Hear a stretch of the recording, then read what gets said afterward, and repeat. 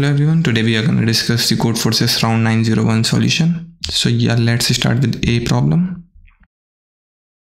तो मैं a problem को है ना थोड़ा इजी वे में समझा देता हूँ कि ये प्रॉब्लम है क्या। तो ए प्रॉब्लम कुछ इस तरीके से है कि हमारे पास एक बॉम्ब है ठीक है? एक बॉम्ब है जो कि बी सेकंड्स में फूट जाएगा। बी सेकंड्स में क्या है? फूट जाएगा बस ठीक है? अब हम क्या कर सकते हैं? हमारे पास कुछ टूल्स भी हैं ऐसे समझो। वो टूल्स ऐसे समझो एक एरे के फॉर्म में गिवन है A one A two A three A four up to A N हम इन टूल्स की हेल्प से इस बॉम्ब के फूटने का टाइम बढ़ा सकते हैं। लाइक like, अगर मैं ए वन वाला टूल यूज़ करूँ तो मैं फूटने का टाइम जो है ना वो ए वन से बढ़ा सकता हूँ। जैसे कि समझो कि मेरा B is equal to five था इनिशियली और ए वन की वैल्यू है समझो थ्री तो अगर ये फाइव सेकेंड्स में फूट रहा था, ठीक है? सेकेंड्स में फूट रहा था तो अगर ये फाइव सेकेंड्स में फूट रहा था तो हम क्या कर सकते हैं? इसको five plus three eight seconds तक ले जा सकते हैं और फिर ये आठ सेकेंड्स में फूटेगा, ठीक है? आठ सेकेंड्स में। तो हमको बताना है कि हम इन टूल्स की हेल्प से इसका टाइम कितना बढ़ा सकते हैं? मतलब फूटने का टाइम मैक्स टू मैक्स कितना बढ़ा सकते हैं? लेकिन हमें एक कंडीशन और गिवन है यहाँ पे, कि जैसे हमने यहाँ पे फाइव प्लस थ्री एट कर दिया ना तो तुम फूटने की जो ड्यूरेशन है, वो किसी भी मोमेंट पे, वो तुम ऐसे कर सकते हो, उस टाइमर को कभी भी ए सेकंड से आगे नहीं ले जा सकते हो।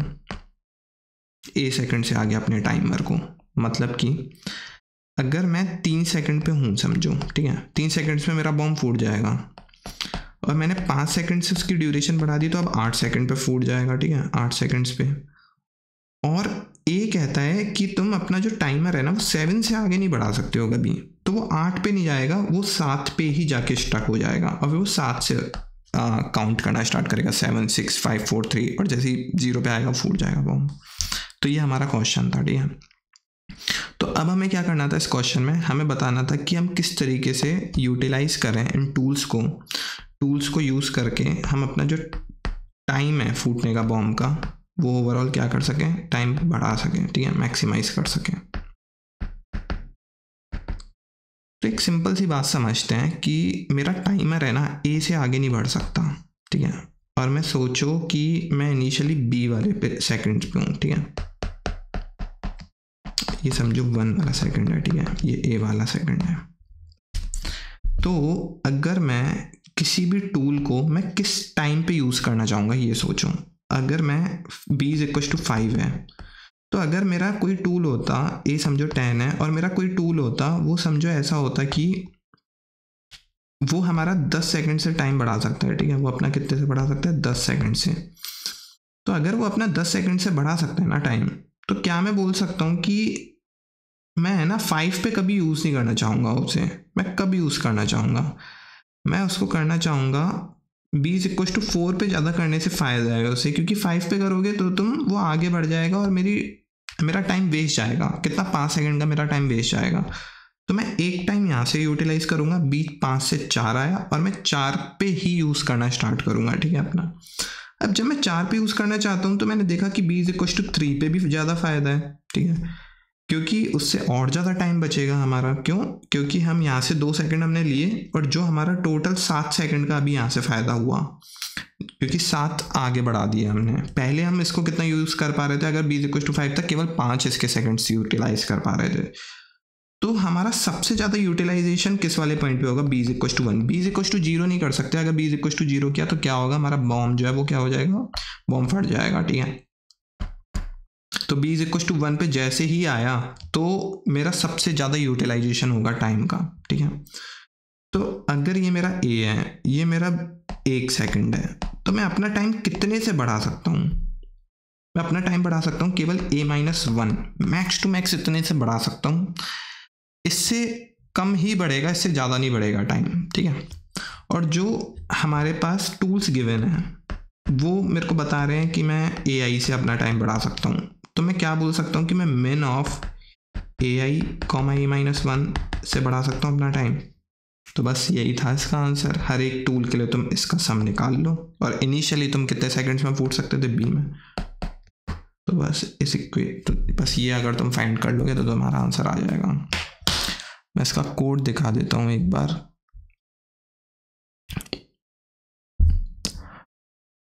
तो ये है इसका कोड सबसे पहले हमने क्या किया कि सबसे पहले हमने सॉरी सबसे पहले हमने क्या किया कि सबसे पहले हमने ए ले लिया पी ले लिया एन ले लिया. और स्टार्टिंग में हमने क्या किया कि अपने आंसर को बी से डिक्लेयर कर दिया. इसका मतलब क्या है कि बी सेकंड्स में फूट सकता है अपना बॉम्ब फिर हमने हर एक एलिमेंट को, हर एक टूल्स का इनपुट लिया। हमने चेक किया, अपने आंसर में क्या ऐड किया, हमने मिन किया। किसका? A minus one comma element जो हमारा टूल हमारा टाइम बढ़ा पा रहा था, और ए माइनस वन से हम मैक्स टू मैक्स ऐड कर सकते हैं, जो मैंने डिस्कस किया था अभी। तो बस इन सब का सम करो एंड में आंसर प्रिंट करवा दो, ठीक है? तो ये थी ए प्रॉब्लम अब मूव करते हैं बी प्रॉब्लम पे। बी प्रॉब्लम को मैं आ, फिर से थोड़ा इजी वे में समझा देता हूँ। तो बी प्रॉब्लम को जैसे समझो इसमें जेलीफिश और गैलीफिश नाम ले रखे थे। मैं तुम्हें सिंपल ए और बी एरे ऐसे बोलूँगा कि ए और बी दो बंदे हैं वो अपने वो गेम प्ले कर रहे हैं ठीक है? इसमें जेलीफिश और गैलीफिश करके कुछ बता रखा था। तो ए के पास कोई समझो दो बंदे गेम खेल रहे हैं ए के पास कोई ये कह रहे हैं A one A two A three से लेकर ए एन तक। इसके पास दूसरे वाले बंदे के पास भी आ रहे हैं B one B two B three से लेकर बी एम तक। अब दोनों के पास एक एक करके टर्न आती है। जब ए के पास आती है ना तो वो क्या कर सकता है कि अपने एरे का कोई भी एक एलिमेंट उठा सकता है। कोई भी एक उठाया और बी के एरे का कोई भी उठाया स्वैप मार दिया, ठीक है? ऐसे ही बी के पास आया बी फिर उसके बाद सेकंड टर्न आएगी बी की। तो बी ने अपनी एरे का कोई भी उठाया और ए की का कोई भी उठाया, दोनों को स्वैप मार दिया, ठीक है? तो दोनों के टर्न्स कैसे आएँगे? ऑल्टरनेट पहले ए आएगा, फिर बी फिर ए फिर बी फिर ए फिर बी ठीक है? और हर मोमेंट पे दोनों के दोनों चाहेंगे कि मेरी एरे का सम क्या हो? मैक्सिमम दोनों अपने चाहेंगे कि मेरी एरे का सम हो मैक्सिमम तो हमें बताना है after K seconds after K seconds after K seconds A वाले के एरे का सम क्या होगा? ठीक है? तो इसको है ना, थोड़ा सा एग्ज़ाम्पल की हेल्प से समझते हैं। जैसे कि एक एग्ज़ाम्पल उठाते हैं। One two three four A समझो ये थी बी ये थी। ए वाला क्या चाहेगा? मैं अपनी एरे का सबसे छोटा एलिमेंट उठाऊं, ठीक है? बी वाली का सबसे बड़े का उठाऊं। और दोनों को स्वैप मार दूँ। अगर ए का सबसे छोटा मेरी बी के सबसे बड़े से छोटा है तो ठीक है? तभी तो सम मैक्सिमम बनेगा। अगर मैं कोई और से करता तो ए का सम कभी उस पॉइंट पे मैक्सिमम नहीं बनता, केवल इस वाली कंडीशन में बन सकता है तो ए यही चाहता है। तो एक सेकंड बाद सिचुएशन क्या होगी? टू फोर होगा ए के पास बी के पास क्या होगा? वन और थ्री तो क्या मैं बोल सकता हूँ ए के पास है ना, एक सेकंड बाद ही सबसे बड़ा एलिमेंट आ चुका होगा इन दोनों एरेस का। क्यों? क्योंकि इसके पास जो बड़ा हुआ, बड़ा पड़ा होगा, वो तो होगा ही होगा। और बी का भी सबसे बड़ा एलिमेंट तुमने उठा लिया। और बी को तुमने क्या किया कि सबसे छोटा एलिमेंट उसके पास जो बी ज़ीरो होगा, सो होगा, तुमने ए ज़ीरो भी इसको दे दिया। तो क्या मैं कह सकता हूँ कि ए के पास है ना max of max of A N comma B of M आ चुका होगा। ये वन बेस्ड इंडेक्सिंग के अकॉर्डिंग वैसे। और जो बी और जो ए के पास है। और बी के पास क्या आ चुका होगा? बी के पास दोनों का मिन आ गया होगा। किसका? A one comma B one का। जो भी मिनिमम होगा, वो आ चुका होगा। तो ए के पास सबसे बड़ा एलिमेंट और बी के पास सबसे छोटा एलिमेंट अब बी क्या करेगा? बी के पास कोई ऑप्शन नहीं बचा अपना सम बढ़ाने का। सबसे छोटा एलिमेंट उठाएगा, सबसे बड़े वाले एलिमेंट के संग स्वैप मार देगा। फोर यहाँ पे ले आया, वन यहाँ पे ले आया। ए क्या करेगा? वही काम करेगा, सबसे छोटा एलिमेंट, सबसे बड़े के संग स्वैप मारेगा। तो ये प्रोसेस बस हमारी चलती रहेगी, सबसे बड़ा, सबसे छोटे के संग स्वैप होते रहेगा। तो इसका क्या मतलब है? एक सेकंड तक ही था, जो कुछ था। एक सेकंड के बाद क्या होगा? एक सेकंड पे स्वैपिंग स्टार्ट होगी और जो है ए ज़ीरो और बी ऑफ़ अगर मैं ज़ीरो बेस्ड लेता हूँ तो B of M minus one इन दोनों के बीच स्वैप ऑपरेशन परफॉर्म होगा, अगर A zero lesser than B of M minus one है। अदरवाइज़ क्या होगा? जैसे कि एक एग्जांपल लेते हैं जो ऐसा ऑपरेशन परफॉर्म नहीं होगा जिसमें, समझो कि बी के पास वन टू होते ए के पास थ्री फोर होते तो इस वाली केस में ऑपरेशन परफॉर्म नहीं होगा कि थ्री टू से भी बड़ा है। लेकिन तुमने देखा कि एक सेकंड बाद तो भी बी के पास सबसे छोटा एलिमेंट है ए के पास सबसे बड़ा एलिमेंट है। ये बात समझ आ गई? तो अब जब बी के पास टर्न आएगी, वो कुछ नहीं करेगा, अपना सबसे छोटा एलिमेंट सबसे बड़े ए के, सबसे बड़े के संग स्वैप कर देगा। फोर यहाँ आ गया वन यहाँ आ गया। फिर ए क्या करेगा? सेम चीज़ स्वैप करेगा। तो ये ऑपरेशन बस ये ऑल्टरनेट मूव चलते रहेंगे। तो खुद सोचो कि अगर के इज़ इक्व टू वन होता तो केवल सिंगल ऑपरेशन परफॉर्म होता, उसके बाद कहानी खत्म हो जाती। के इज़ इक्व टू टू होता। तो क्या होता कि ए और बी के बीच जो हमने पहला ऑपरेशन देखा वो परफॉर्म होता फिर के की वैल्यू वन हो जाती है एक से घट के। अब B same perform operation perform करता मतलब आ, अपना सबसे छोटा एलिमेंट सबसे बी ए के सबसे छोट बड़े एलिमेंट के संग स्वैप मार देता। तो मतलब यहाँ पे बी के पास एडवांटेज है दूसरा वाला ठीक है? अब जब के इज़ इक्व टू टू होता तो क्या मैं कह सकता हूँ कि वही वाली कहानी रिपीट हो जाती जब अगर के इज़ इक्व टू वन था। क्यों? क्योंकि ए के पास सबसे बड़ा एलिमेंट फिर से आ जाएगा। जैसे कि एग्जांपल लेते हैं कि ए के पास समझो सबसे बड़ा एलिमेंट फोर आ चुका है बी के पास सबसे छोटा एलिमेंट वन आ चुका है, ठीक है? तो वन और बी के वन और फोर के भी स्वैपिंग चलती रहेगी। मतलब के इज़ इक्व टू वन के बाद अगर ऐसी सिचुएशन है मतलब एक ऑपरेशन हो चुका है तो इसके बाद अगर एक और ऑपरेशन बचा है, अगर के इज़ इक्व टू टू होता तो हमारा एक और ऑपरेशन मतलब बचा है यहाँ पे, एक ऑपरेशन होने के बाद तो बी के पास क्या आ जाएगा? बी के पास फोर आ जाएगा बी के पास एडवांटेज है ए के पास वन आ जाएगा। फिर के इज़ इक्व टू टू होता के इज़ इक्व टू थ्री होता तो ये दो ऑपरेशन परफॉर्म हो चुके हैं तो अब ए की बारी है ए एडवांटेज में तो A is equal to four बनाता, वो B is equal to one बनाता। तो ये वाली चीज़ किसके बराबर थी? ये के इज़ इक्व टू वन वाले ही सिचुएशन पे हम आ गए ठीक है?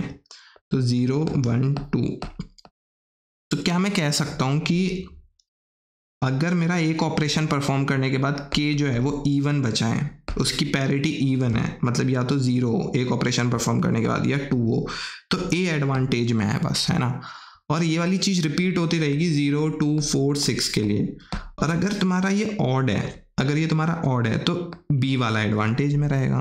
मतलब कि बी वाले के पास बड़ा एलिमेंट ए वाले के पास छोटा एलिमेंट बस यही करना था इसमें। अब मैं इसका कोड दिखा देता हूँ कि क्या किया मैंने इसमें।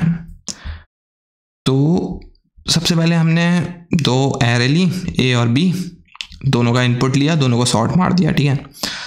अगर पहले, सबसे पहले हम एक ऑपरेशन परफॉर्म करेंगे तो ए ज़ीरो को B F N N one मैंने एक का साइज़ एन लिया, एक का एन वन लिया, दोनों को स्वैप मारा और दोनों को सॉर्ट कर दिया के की वैल्यू एक से घटा दी। तो एक ऑपरेशन तक ए के पास सबसे छोटा हो ए के पास सबसे बड़ा हो चुका है बी के पास सबसे छोटा हो चुका है। फिर हमने बस के की पैरिटी देखी बचे हुए की, अगर के की पैरिटी वो है ऑड है तो वन है।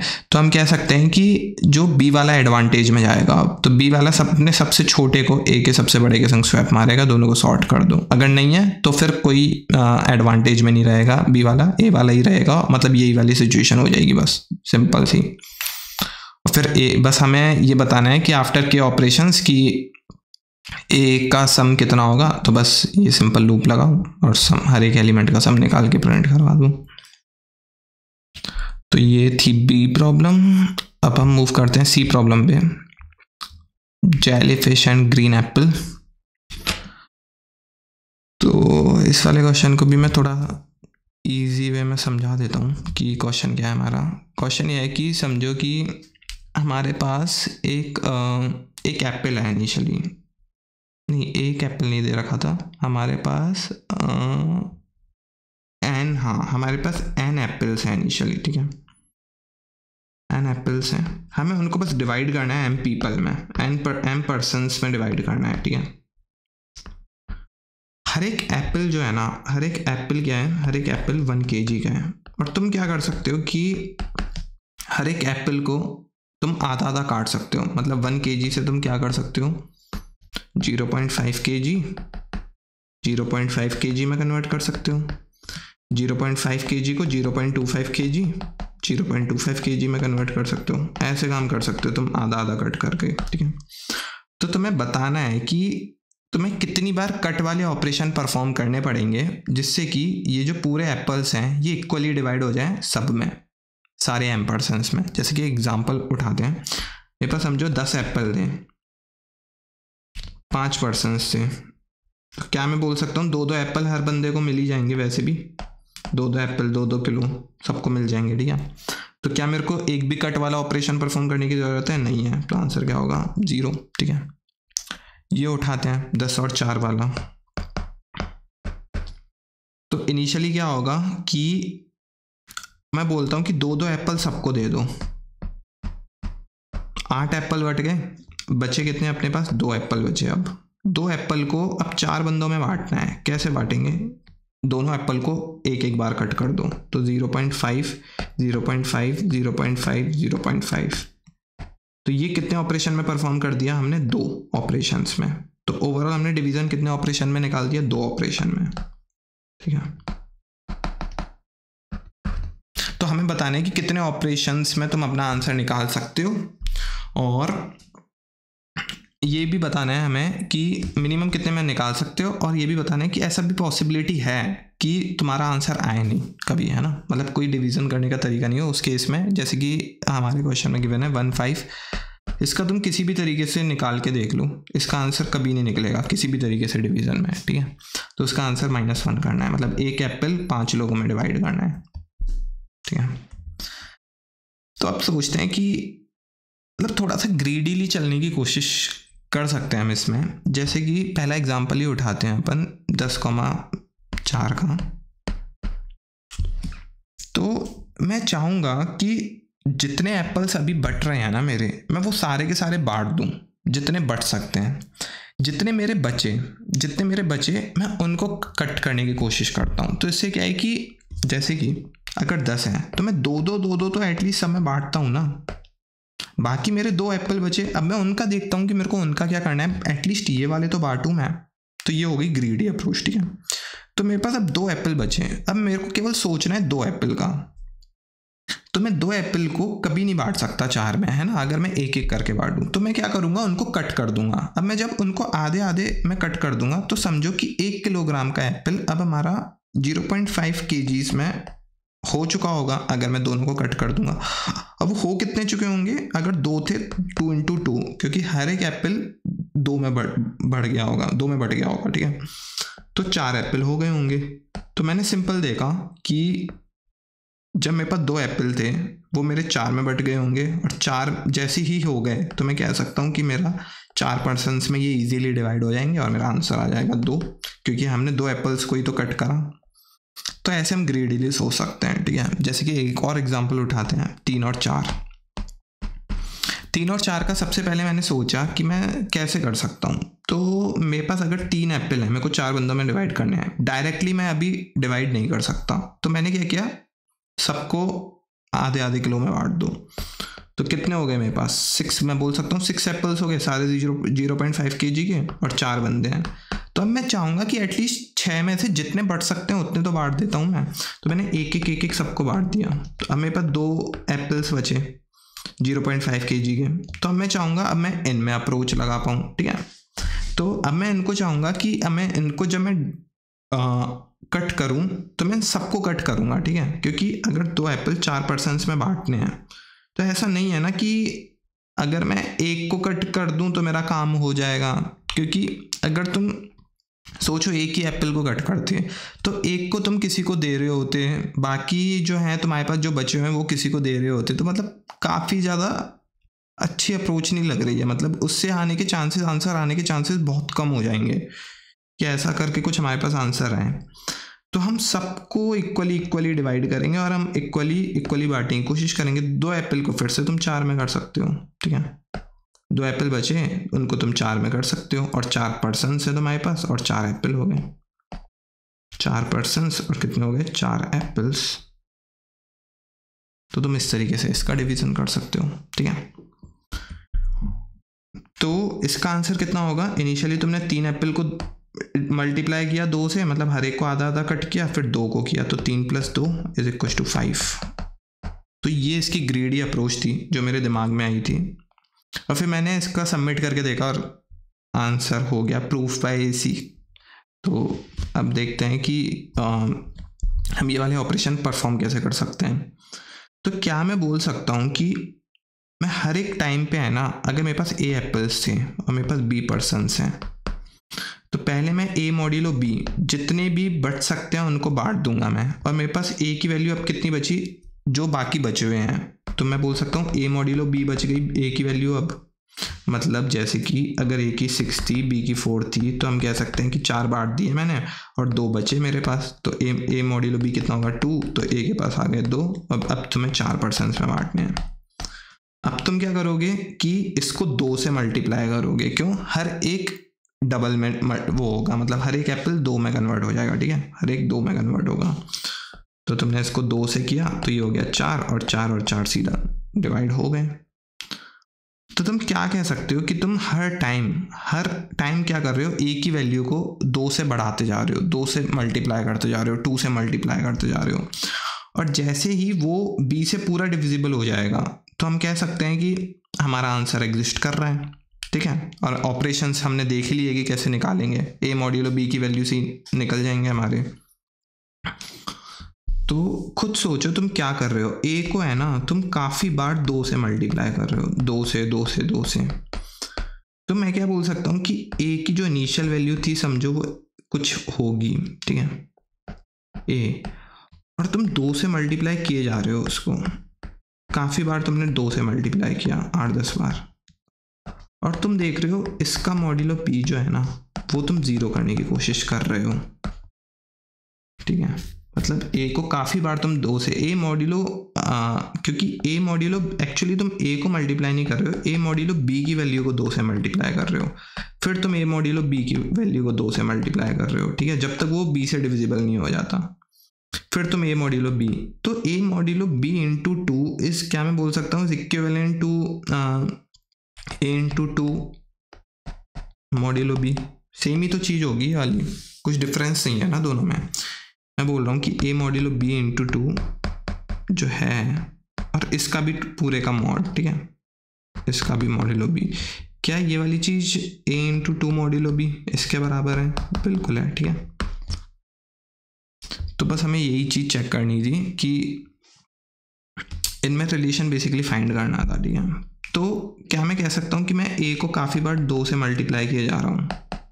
मतलब ए मॉड्यूलो बी को कर रहा हूँ लेकिन मॉड्यूलो की टर्म में लिखेंगे तो ए को काफ़ी बार दो से मल्टीप्लाई कर दिया और एंड में बस मॉड्यूलो बी अगर ये वाली चीज़ है ना काफ़ी देर बाद जो है वो ज़ीरो आनी चाहिए। ये वाली चीज़ ठीक है?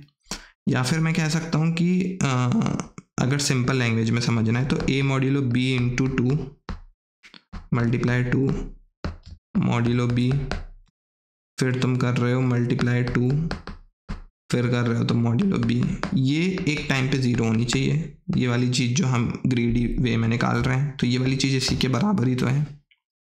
ठीक है? तो आंसर एग्जिस्ट करने के लिए ये वाली चीज़ एक पॉइंट पे ज़ीरो होनी चाहिए। इतना पता लग गया। तो तुम खुद सोचो कि बी से एक कब डिविजिबल होगा। ए तभी डिविजिबल होगा जब ए के बी के सारे के सारे जितने भी, अगर मैं इसका प्राइम फैक्टराइजेशन निकालूँ ना, अगर वो सोचो two into three into five into six two into three into five into two इस फॉर्म में है। और ए का कुछ फॉर्म में है थ्री इंटू फाइव तो मैं बोल सकता हूँ कि दो की हेल्प मैं टू ऊपर वाले टू से ले सकता हूँ। जब इसका प्राइम फैक्टराइजेशन पूरा का पूरा इन वाली टर्म्स में आ रहा होगा ना, मैं कह सकता हूँ कि उस वाले पॉइंट पे बी जो है ना वो ए जो है, वो डिविजिबल होगा बी से, ठीक है? तो सोचो कि यहाँ पे अगर जितने भी टूज आएँगे बी में, उनको मैं ये एक्स्ट्रा टू अपने एक्स्ट्रा टूज की हेल्प से कन्वर्ट कर सकता हूँ। लेकिन मेरे जो ये बाकी के हैं, वो मेरे ए में ऑलरेडी एग्जिस्ट करने चाहिए। अगर नहीं करते होंगे, क्योंकि मैं मल्टीप्लाई टू से ये वाले फैक्टर्स नहीं ला सकता ना थ्री और फाइव तो जितने टू हैं, उनकी मेरे को टेंशन नहीं है, मैं वो एक्स्ट्रा मल्टीप्लाई टू करके ले आऊँगा। बाकी थ्री और फाइव जो हैं, वो ए के पास ऑलरेडी खुद के पास होने चाहिए। और जो बी के पास है ना, खुद सोचो कि बी जो है वो टेन रेस्ट पावर नाइन तक जा रहा है, ठीक है? तो बी के पास मैक्सिमम मैक्स टू मैक्स तीस टू से ज़्यादा हो सकते हैं क्या? नहीं होंगे। और ए में अगर मैं तीस टू तक मल्टीप्लाई कर दूँ, या फिर तीस क्या चालीस तक कर दूँ, अगर तब तक वो डिविजिबल हो रहा है तो हो रहा है। अगर उसके आगे है ना, अगर वो नहीं हो रहा तो वो कभी नहीं हो सकता डिविजिबल क्यों? क्योंकि अगर सोचो ए में तीस टू थे, मैंने सारे के सारे तीस टू जो थे, वो बी में मल्टीप्लाई कर दिए। टू की पावर थर्टी से मल्टीप्लाई कर दिया बी में, ठीक है? तो मैं सॉरी मैंने कुछ उल्टा बोल दिया। सॉरी यहाँ पे यहाँ पे कंफ्यूजन क्रिएट कर दी। तो सोचो कि अगर जो तुम्हारे पास बीस बी में है ना, वो तीस टू तक है तुम्हारे पास, तीस टू तक है, ठीक है? तुम्हारे पास और और भी कुछ फैक्टर्स हो सकते हैं प्राइम फैक्टर्स और तुम्हारे पास ए में अगर तुमने टू की पावर थर्टी से मल्टीप्लाई कर दिया, इससे ज़्यादा टू हो सकते हैं क्या बिल्कुल नहीं हो सकते इससे ज़्यादा टूज है ना? अगर इससे ज़्यादा टूज होंगे, वो टेन डिस्ट पावर नाइन से आगे बढ़ जाएगा। तो अगर तुमने इतने मल्टीप्लाई कर दिए तो क्या मैं कह सकता हूँ कि तब अगर डिविजिबल हो गया तो हो गया। इसके आगे जो है ना डिविजिबल नहीं हो सकता, क्योंकि जितने टू की ज़रूरत थी, मैं केवल एक्स्ट्रा टूज ही बढ़ा सकता हूँ ए में, वो मैंने बढ़ा दिए। और बाकी फैक्टर्स जो हैं, वो ए में ऑलरेडी होने चाहिए। तो क्या हम कह सकते हैं कि तीस स्टेप्स के अंदर आंसर आ गया तो आ गया, नहीं तो नहीं आएगा। क्योंकि ए के पास दो की पावर तीस तक मल्टीप्लाई कर चुके हैं एक तरीके से हम, और ए के पास खुद के फैक्टर्स हैं, जो हैं, और बी के पास खुद के फैक्टर्स जितने भी हैं मतलब प्राइम फैक्टर्स और जितने टू हैं, वो हमने यहाँ से कंपनसेट कर सकते हैं। बाकी जो दूसरे ए में हैं और बी में हैं, वो दोनों मतलब ए के जो हैं, वो डिविजिबल होने चाहिए बी से। तो तीस स्टेप तो यहाँ से आइडिया लगता है कि तुम्हारा थर्टी स्टेप्स में आंसर आ गया तो आ गया, नहीं तो नहीं आएगा। तो तुम्हें ये अप्रोच जो हमने करी थी ए मॉड्यूलो बी और ये वाली अप्रोच बस थर्टी स्टेप्स तक लेके चलते जाओ। आंसर आएगा तो आएगा, नहीं तो नहीं आएगा।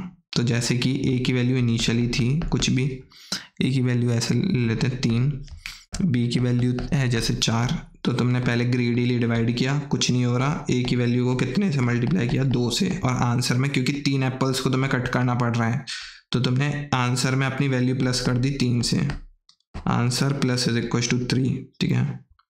आंसर में तीन प्लस कर दिया तुमने और आम, और तुम्हारे ए की वैल्यू कितनी होगी? सिक्स अब सिक्स में से ग्रीडीली डिवाइड कर लो फोर में तो ए मॉड्यूलो फोर हमारी सिक्स ए मॉड्यूलो फोर हमारी वैल्यू बची होगी ए में, जो कि है वो टू फिर तुम टू को देखो। फिर तुम क्या करोगे? कि टू को मल्टीप्लाई करोगे दो से। तो आंसर में फिर से दो से ऐड कर लो, क्योंकि दो डिविजिबल नहीं है, पूरा चार से। फिर तुम दो इंटू दो देखो, वो हो गया चार तो फोर मॉड्यूलो फोर ज़ीरो ठीक है? तो ऐसे करके तुम ग्रेडीली चल सकते हो। ये तीस स्टेप्स तक आंसर आएगा तो आएगा, नहीं तो नहीं आएगा। ठीक है। तो मैं इसका कोड दिखा देता हूँ एक बार।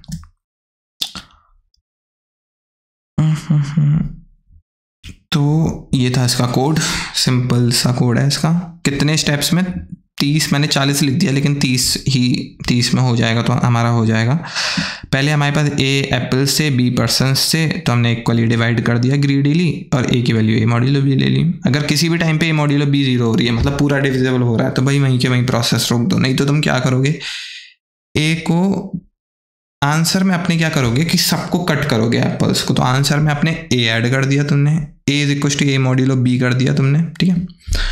और फिर तुमने क्या किया कि तुम्हारे एप्पल्स जो थे, वो दो गुना बढ़ गए होंगे तो A equal to two star है, और फिर उनको इक्वली डिवाइड करो। कितने लोगों में? बी में। तो मॉड्यूल बी तो ए की वैल्यू कितनी हो जाएगी? Two star module of B that's it और हमें चालीस स्टेप्स तक करना है तो बस चालीस स्टेप्स तक निकालो। फिर एंड में तुम्हें देखना है कि तुम्हारे पूरे एप्पल डिवाइड हो चुके हैं क्या? मतलब जो ए की ए मॉड्यूलो बी किसी भी टाइम पे ज़ीरो आ रहा है क्या? अगर आ रहा होगा तो सिंपल क्या करना है? तुम्हें आंसर प्रिंट कर दो। अगर नहीं हो रहा होगा तो सी आउट माइनस वन चालीस स्टेप्स के अंदर आंसर आ रहा होगा तो आ जाएगा नहीं तो नहीं आएगा।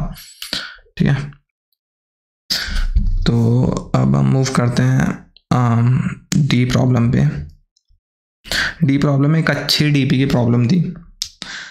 तो आ, मैं इसको है ना इजी लैंग्वेज में समझा देता हूँ डी वाली प्रॉब्लम को। तो डी वाली प्रॉब्लम में क्या है कि हमें समझो एक एरे गिवन है ठीक है? फिर से एक एरे गिवन है। तुम क्या कर सकते हो? तुम्हें हर एक एलिमेंट को रिमूव करना है। ए वन को ए टू को ए फोर को ए थ्री को ए फाइव को, सबको एक एक करके तुम्हें रिमूव करना है, ठीक है? जैसे ही तुम रिमूव करोगे किसी भी एलिमेंट को, उस टाइम पे उसका मैक्स कैलकुलेट करो, ठीक है? अगर तुमने ए वन को रिमूव किया तो A two A three A four A five का मैक्स कैलकुलेट करो और वो अपने आंसर में ऐड कर लो। और अगर तुमने ए थ्री निकाला उसके बाद। तो A two A four A five का मैक्स कैलकुलेट करो अपने आंसर में ऐड कर दो। फिर तुमने ए फोर निकाला तो ए टू ए फाइव का मैक्स निकालो और इसको अपने आंसर में ऐड कर दो ठीक है? तो तुम्हें बताना है कि तुम्हारा फाइनली जो है ना फाइनली जो तुम्हारा आंसर है वो क्या है? सबका मैक्स है। सिग्मा ऑफ़ मैक्स है कब एक एक एलिमेंट को रिमूव करते जाएँगे जो जो मैक्स आते रहेगा उसका सम होगा ठीक है? तो तुम्हें सिंपली बताना है कि तुम कितने आ, किस वे में इसको रिमूव कर सकते हो एलिमेंट्स को, जिससे कि तुम्हारा जो ओवरऑल सिग्मा ऑफ़ मैक्स है ना, वो ओवरऑल तुम्हारा मिनिमम है, ठीक है? जैसे कि एक एग्जांपल ही उठाते हैं, जो कि क्वेश्चन में हमें गिवन है, सबसे पहला वाला five two one zero three zero four zero सोचो सबसे पहले मैंने ज़ीरो हटाया, सबसे पहले मैंने वन हटाया। तो वन हटाते ही मेरा मैक्स क्या हो जाएगा इन सब का? इन सब का मैक्स जो कि होगा वन एक बार मैं मैक्स बता देता हूँ अगर जिसको नहीं पता कि व्हाट इज़ मैक्स तो मैक्स होता है कि आ, अगर तुम्हारे पास एक इसकी फुल फॉर्म याद नहीं आ रही मेरे को पता नहीं क्या होती है। बाकी मिनिमम एक्सक्लूडेड ये होती है ठीक है। तो मैक्स की क्या होती है? मिनिमम एक्सक्लूडेड तो जैसे कि अगर तुम को बस ये देखना है कि मिनिमम नॉन नेगेटिव इंटीजर जो तुम्हारा एरे में मिसिंग मिसिंग है अगर एरे में ज़ीरो है तो इसका मैक्स होगा। अगर ज़ीरो अगर ज़ीरो नहीं है, समझो ज़ीरो नहीं है तो तुम्हारा मैक्स होगा ज़ीरो अगर तुम्हारा एरे में ज़ीरो है और टू है वन नहीं है तो तुम्हारा मैक्स होगा वन अगर ज़ीरो है वन है टू है और थ्री नहीं है फोर है तो मैक्स क्या होगा तुम्हारा थ्री तो बस ये होता है मैक्स ठीक है? तो अब हमें क्या बताना है कि अब जैसे एग्जांपल उठाते हैं इसका, जो अभी हम डिस्कस कर रहे थे five two one zero three zero three zero four zero तो अगर मैं वन को हटाता हूँ तो उस टाइम पे मेरा मैक्स कितना हो जाएगा? वन, क्योंकि ज़ीरो है, वन नहीं है। फिर अगर मैं एक ज़ीरो को उठा, हटाता हूँ, ठीक है? फिर मैं अगर मैं अपना एक ज़ीरो को हटाता हूँ तो मेरा मैक्स क्या होगा? उस वाले पॉइंट पे भी वन होगा, क्योंकि मेरा ज़ीरो है, वन नहीं है। फिर मैं एक और ज़ीरो को हटाता हूँ। तो फिर मेरा मैक्स क्या होगा? फिर से वन होगा। फिर मैं एक और ज़ीरो को हटाता हूँ। तो उस वाले टाइम पे सारे ज़ीरो हट चुके होंगे वन भी हट चुके होंगे। तो मैं क्या कह सकता हूँ कि मेरा मिनिमम एक्सक्लूडेड ज़ीरो है तो उस वाले टाइम पे मेरा क्या आ जाएगा? ज़ीरो यहाँ पे वन था। और इस वाले ज़ीरो को हटाते ही मेरा मैक्स जो हो जाएगा, वो ज़ीरो हो जाएगा। तो मेरा आंसर कितना होगा total one one one three हो गया ज़ीरो और वन हटाने पे। फिर तुम टू हटाओ तो भी तुम्हारा ज़ीरो आएगा। थ्री हटाओ मैक्स तो भी ज़ीरो फोर हटाओ तो भी फिर ऑर्डर मैटर नहीं करता। फिर सबका ज़ीरो आएगा। तो ओवरऑल आंसर क्या आएगा? हमारा थ्री ये हमारी एक एफिशिएंट अप्रोच थी, जिससे हमारा मैक्स मिनिमम आ रहा था। पर खुद सोचो, तुम सबसे पहले ऐसे हटाते कि तुम पहले फाइव हटाते फिर तुम थ्री हटाते फिर टू हटाते तो उस वाले केस में हमारा मैक्स जो है काफ़ी बढ़ जाता। जैसे अगर मैं फाइव हटाता तो मेरा ज़ीरो था वन था टू था थ्री था फोर भी था तो मेरा फिर से फाइव आ जाता, फिर मैं फोर हटाता।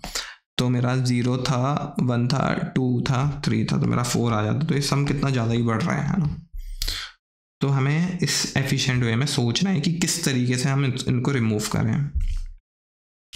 अब है ना मतलब एक चीज़ तो समझ आती है इस क्वेश्चन को। जैसे इसी एग्जांपल को लिखते हैं zero zero zero one two three four इसी एग्ज़ाम्पल को उठा के थोड़ा ऑब्ज़र्व करते हैं, ठीक है? तो ये तुम्हारा एक ज़ीरो का क्लस्टर है, एक वन का क्लस्टर है टू का है थ्री का है फोर का है, ठीक है?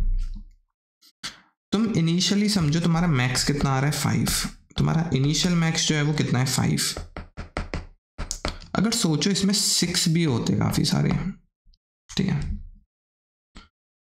तो अगर मैं सबसे पहले किस एलिमेंट को हटाना चाहूँगा? अगर सोचो मेरा इनिशियली मैक्स जो है वो फाइव है और मैं सिक्स हटाता हूँ, ठीक है? मैं अपने क्लस्टर में से सिक्स हटाता हूँ। तो अगर मैं सिक्स हटाता हूँ तो उस वाले केस में मेरा मैक्स फाइव ही रहेगा। सिक्स के आगे सेवन होते, तब भी अगर मैं उसको हटाता तो मैक्स कितना रहेगा? मेरा फाइव ही रहता। तो अगर मैं इन सबको हटाता तो सबके लिए मैक्स कितना रहता? पाँच पाँच पाँच पाँच ही रहता। लेकिन सोचो, अगर मैं से चार में से हटाता तो चार के लिए भी मैक्स रहता, लेकिन चार अगर मैं सारे हटा देता तो फिर मेरा औरों के लिए जो मैक्स है ना, वो फोर हो जाता, क्योंकि फोर एक्सक्लूडेड हो जाता। तो कभी भी हम कह सकते हैं कि मैक्स जो अभी मेरा करंट मैक्स है अगर मैं उससे ज़्यादा निकालूं तो कभी मेरा फ़ायदा नहीं है, क्योंकि मेरा मैक्स उस वाले केस में कभी कम नहीं हो सकता। लेकिन अगर मैं उससे कम वाले निकालूं तो पॉसिबिलिटी पॉसिबिलिटी है हंड्रेड परसेंट श्योर है कि हम उससे पहले वाले निकाल रहे हैं तो हमारे करंट मैक्स से कम मैक्स हो जाएगा। जिसको हम निकाल रहे हैं, वो मैक्स हो जाएगा मेरा एलिमेंट ठीक है? तो सोचो, फिर मैंने चार निकाल दिया। तो अगर मैंने सारे के सारे चार निकाल दिए तो क्या मैं कह सकता हूँ कि मेरा मैक्स जो हो जाएगा, उस वाले मोमेंट पे फोर हो जाएगा तो औरों के लिए मेरा बेनिफिट है। और जिनके लिए अगर मैं six six six seven seven के लिए अब चेक करूँ तो उनके लिए सबके लिए फोर आते रहेगा मैक्स तो इससे क्या ऑब्जर्वेशन आई? ऑब्जर्वेशन ये आई हमारी कि जो मेरा करंट मैक्स है ना, अगर मेरा कोई भी करंट मैक्स है तो मैं अपने करंट मैक्स से हमेशा कौन से एलिमेंट निकालना चाहूँगा? कम वाले निकालना चाहूँगा। कम वाले। जिनकी वैल्यू मेरे करंट मैक्स से कम है। ज़्यादा वाले निकालने का नो बेनिफिट ज़्यादा वाले निकालने का क्या है? कोई बेनिफिट नहीं है, ठीक है? तो अब हम सोचते हैं कि कम वाले भी कौन से निकाल सकते हैं, ठीक है? कम वाले भी तो काफ़ी सारे हैं। सोचो मैं किसी करंट मैक्स पे हूँ, जैसे एग्जांपल उठाते हैं zero zero zero zero zero one one two two two two two three three three ऐसे सोचते हैं। फोर फोर फाइव फाइव सोचो सिक्स नहीं था तो मेरा करंट मैक्स जो हो गया, वो क्या हो गया? सिक्स फिर था तुम्हारा सेवन सेवन सेवन फिर एट एट एट तुम आठ, तुम्हारा करंट मैक्स सिक्स है। अभी हमने देखा आठ, सात को उठाने से कोई फ़ायदा नहीं है, क्योंकि मेरा मैक्स सिक्स ही रहेगा और मेरा सब मैं सिक्स सिक्स सिक्स सम होता रहेगा। अगर मैं इसको रिमूव करूँगा तो भी सिक्स अगर मैं इसको रिमूव करूँगा तो भी सिक्स इसको इसको इसको। लेकिन अगर मैं इसको करूँ तो हो सकता है ये मेरा मैक्स जो है, दोनों को रिमूव करते मेरा मैक्स जो है फाइव हो जाएगा। तो ओवरऑल जो मेरा और एलिमेंट्स के लिए मैक्स है वो कितना हो जाएगा? कम हो जाएगा।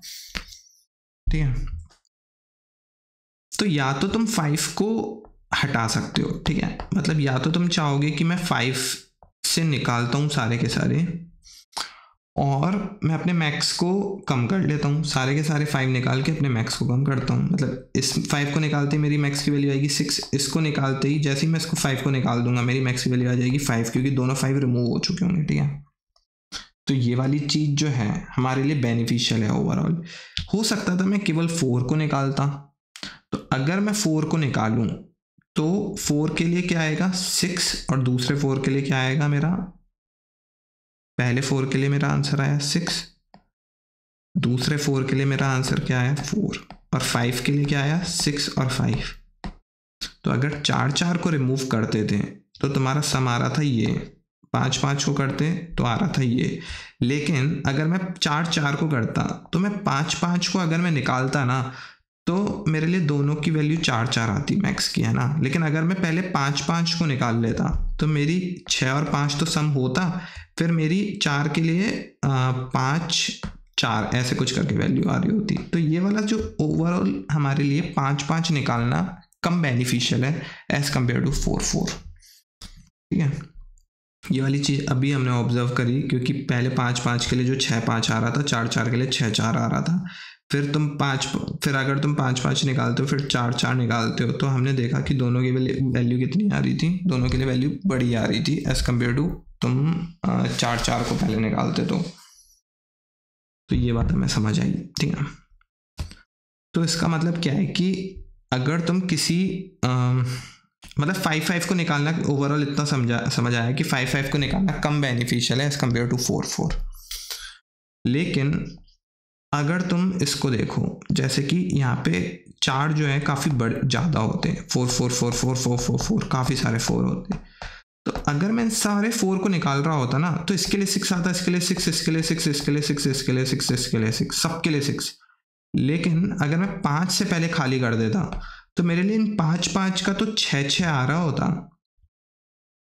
छः और पाँच सॉरी छः और पाँच, क्योंकि पाँच एक रिमूव हो जाएगा तो उसका फाइव आ जाएगा। मतलब एक रिमूव होगा तो सिक्स अब फाइव दोनों रिमूव हो जाएँगे तो फाइव लेकिन उसके बाद है ना, हर एक चार के लिए, हर एक चार के लिए वैल्यू जो है वो पाँच पाँच पाँच पाँच पाँच आ रही होगी, है कि नहीं? लेकिन अगर तुम डायरेक्ट फोर फोर फोर पे जंप मारते तुम्हारी six six six six six sum होते जा रहा था तो इसका मतलब क्या है कि हमें नहीं पता, किसी केसेस में हमारा फाइव बेनिफिशियल हो सकता है, किसी केसेस में हमारा फोर बेनिफिशियल हो सकता है, कुछ भी बेनिफिशियल हो सकता है, ठीक है? तो अब हमने ये देखा तो लेकिन इतना तो पक्का है मेरा कि अगर मैं चार को निकाल रहा हूँ सारे चार मैंने निकाल दिए तो मैं उसके बाद मैं कभी पाँच को नहीं निकालूँगा। क्या वो कभी बेनिफिशियल है? बिल्कुल नहीं है क्योंकि अगर तुम्हें पाँच निकालना था तो या तो पहले निकालते।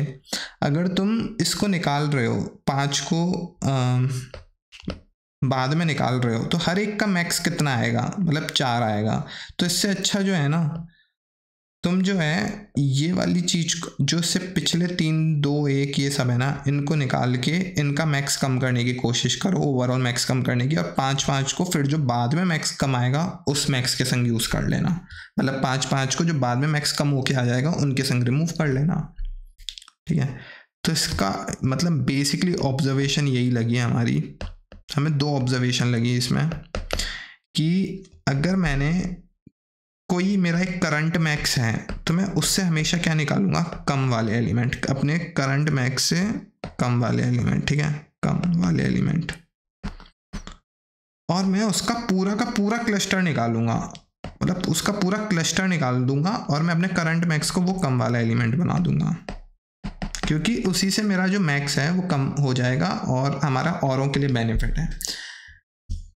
तो यही एक ऑब्जर्वेशन थी और दूसरी ये थी कि अगर तुम्हारे करंट मैक्स से कभी भी बड़ा नहीं उठाओगे तुम, है ना? मतलब अगर तुम्हारा करंट मैक्स कुछ आ रहा है तो तुम उससे बड़ा एलिमेंट उठाने का कभी कोई बेनिफिट नहीं है, ठीक है? क्योंकि तुम पिछले वाले निकाल के ओवरऑल मैक्स कम करने की कोशिश करो ना, कि तुम जिससे कि, जो उससे बड़े वाले एलिमेंट्स से, उसका तुम ओवरऑल जो है मैक्स जब तुम निकाल रहे हो तो मैक्स कम हो जाए। बड़े निकालोगे तो करंट मैक्स के बराबर ही मैक्स रहेगा, कुछ कमी आएगी नहीं उसमें तो वो हमारा बेनिफिशियल नहीं है। ठीक है, ये दो ऑब्जर्वेशन हमने नोट करी। अब तुम सोचो तुम फोर पे आए तो तुमने पहले फाइव फाइव रिमूव किया, फिर तुमने सारे के सारे फोर किए, फिर समझो तुमने सारे के सारे वन किए, ठीक है? तो हम चलेंगे इसी ऑर्डर में, अगर चलना है तो। अगर मैं पाँच चार एक रिमूव कर रहा हूँ, दो और तीन को स्किप कर रहा हूँ तो मैं पहले पाँच को रिमूव करूँगा, जिससे मेरा करंट मैक्स फाइव हो जाएगा, फिर मैं चार को करूँगा, जिससे करंट मैक्स फोर हो जाएगा, फिर मैं वन को करूँगा, जिससे मेरा करंट मैक्स वन हो जाएगा। अब जब मैं ज़ीरो पे आया तो क्या मैं बोल सकता हूँ कि मेरे पास ज़ीरो वाला क्लस्टर बचा है टू वाला क्लस्टर बचा है, समझो? थ्री वाला बचा है। तो ज़ीरो वाले क्लस्टर जब मैं I is equal to zero पे हूँ मतलब ज़ीरो वाले क्लस्टर पे हूँ तो मेरे पास ज़ीरो वाला क्लस्टर बचा है। मेरे पास आ, कौन सा क्लस्टर बचा था और? मेरे पास टू और थ्री वाला। टू वाला क्लस्टर बचा है और थ्री वाला क्लस्टर बचा है। और मैं वन तक निकाल चुका हूँ ठीक है?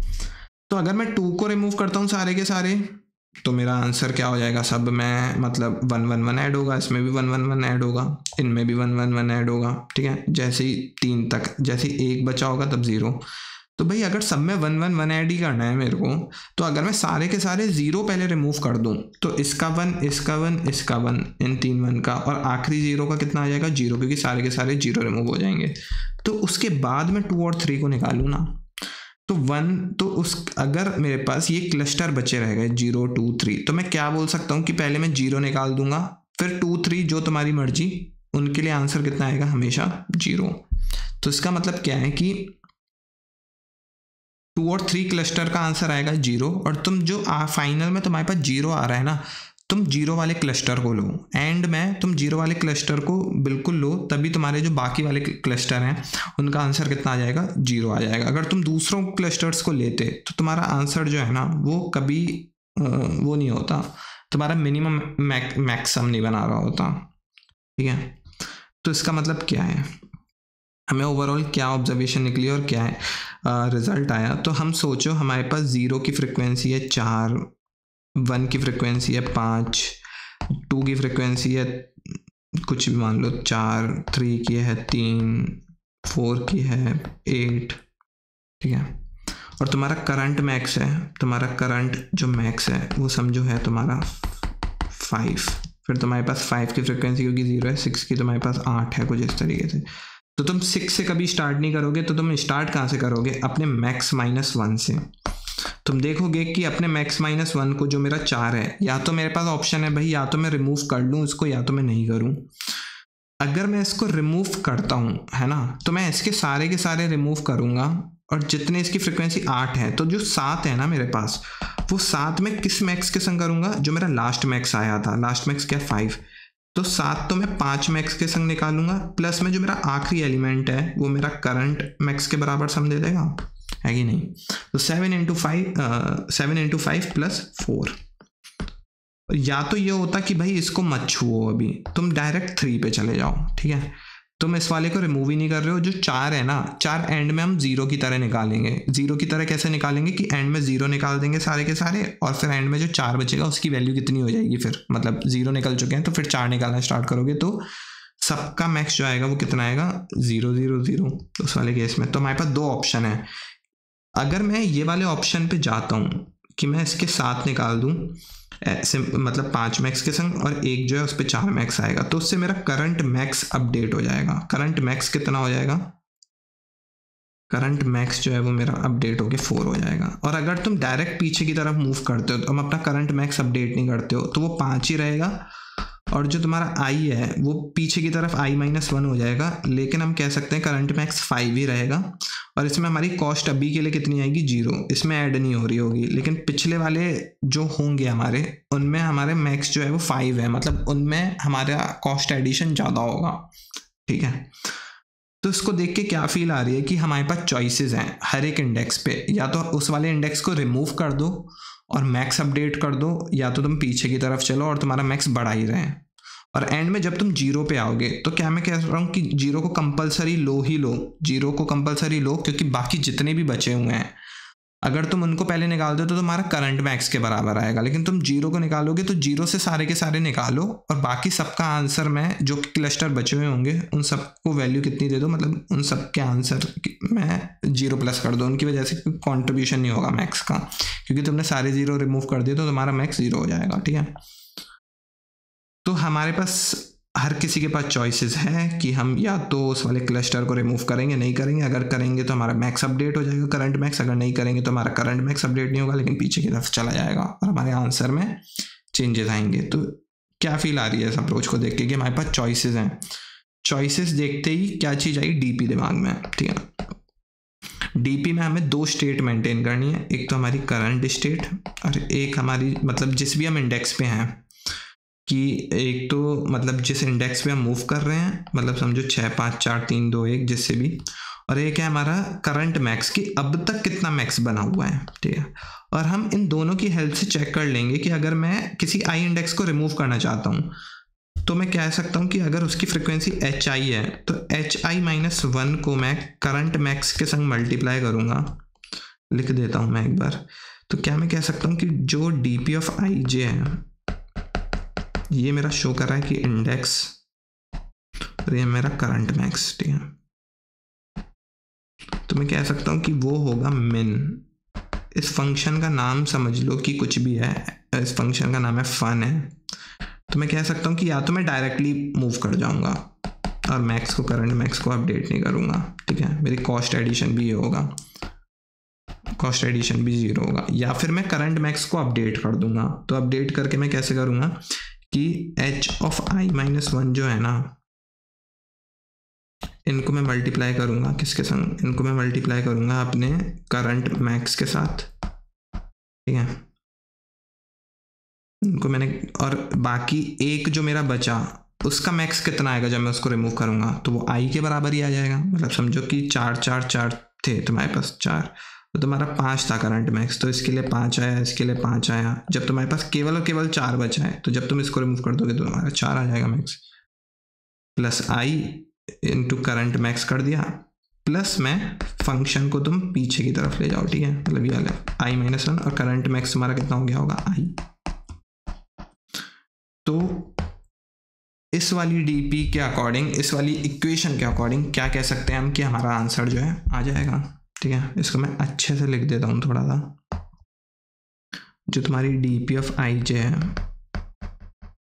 वो किसके बराबर हो जाएगी? तुम्हारी मेन ऑफ़ या तो तुम डायरेक्ट फन अगर नाम है तो fun of I minus one comma J जो कि तुम्हारा था plus comma H of I minus one star मतलब मल्टीप्लाई जे प्लस में आई प्लस में fun of I minus one comma I तो बस ये हमारी डी पी की इक्वेशन बन गई। इसको निकाल के हम अपना आंसर इजीली निकाल सकते हैं। ठीक है? और जैसे ही मैं I is equal to zero पे पहुँच जाऊँगा, वो मेरा बेस केस होगा। I is equal to zero पे अभी मैंने बताया थोड़ी देर पहले कि वो सारे, वो वाले क्लस्टर को ज़रूर रिमूव करना है हमें। क्योंकि बाकी जितने भी क्लस्टर बचेंगे, उनकी वैल्यू फिर सम में ज़ीरो होगी। अगर उसको हम आई इक्व टू ज़ीरो को नहीं निकालते ना और उनको पहले निकालते हैं। तो उनका एडिशन मैक्स में कुछ अलग तरीके से होता मतलब कुछ ना कुछ वैल्यू देते वो मैक्स की, है ना? तो I is equal to zero को रिमूव करो, वो सबसे बेटर है। तो I is equal to zero पे पूरा क्लस्टर रिमूव कर दूँ, ठीक है? और फिर बाकी जो वैल्यू बची, वो बस सबकी ज़ीरो हो ही जाएगी। तो अब हम मूव करते हैं इसके कोड पे।